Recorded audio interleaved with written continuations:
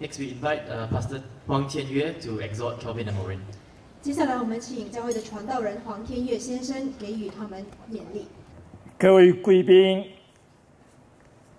各位亲戚朋友、主内的弟兄姐妹们，午安！今天下午，我们非常高兴跟汉文、瑞英一起的欢喜快乐，因为他们要在神和众人的面前立下终身的誓约。汉文跟瑞英他们在初级学院的时候就互相的认识，开始的有比较要好的关系，然后经过了一段漫长的时间，进一步的认识、了解，他们等候，他们寻求神的带领，终于他们清楚的知道神在他们身上的旨意，愿意在神和众人面前做下这一个重大的决定。从今天开始，他们就要以夫妻的关系一起的度过他们的一生。这是一件非常美好的事情。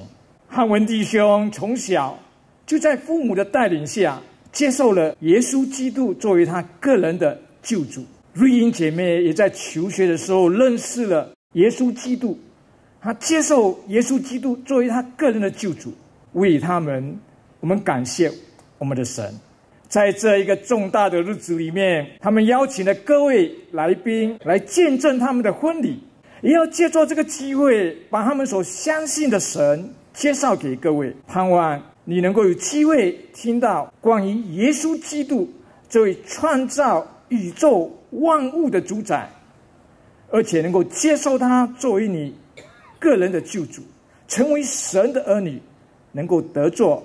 永生的盼望，汉文和录音的请柬上面印作这样的一段经文：从圣经新约彼得前书第一章二十到二十五节，基督是在创立世界以前是神所预知的，却在这幕后的世代才为你们显现出来。借着他，你们信那使他从死人中复活，又给他荣耀的神，叫你们的信心和盼望都在于神。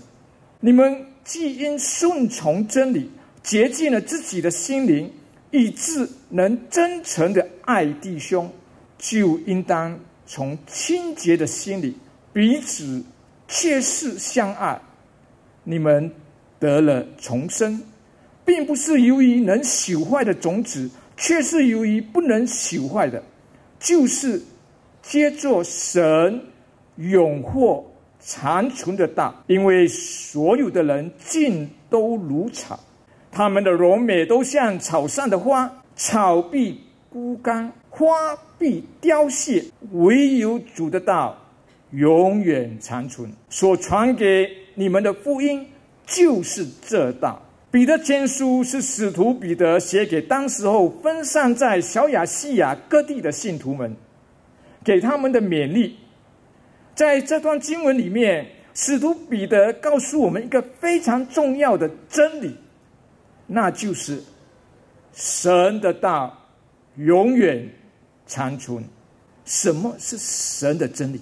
在经文开始的时候讲到耶稣基督，他在创世以前。神就已经把这样的一个救赎计划预备好了，一直到两千多年前，耶稣基督才降生在这世上。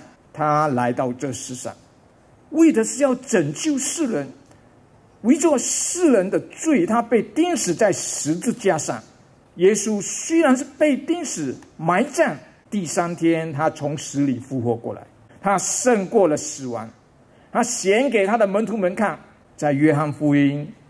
第三章十六到十七节这样告诉我们：神爱世人，甚至将他的独生子赐给他们，叫一切信他的不至灭亡，反得永生。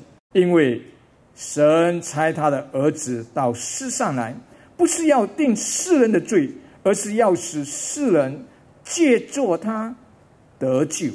各位亲爱的朋友们，当你听到这消息的时候，你的回应是怎么样的呢？你愿意接受耶稣基督作为你个人的救主吗？请你不要错过这美好的机会。愿神赐福给你，谢谢。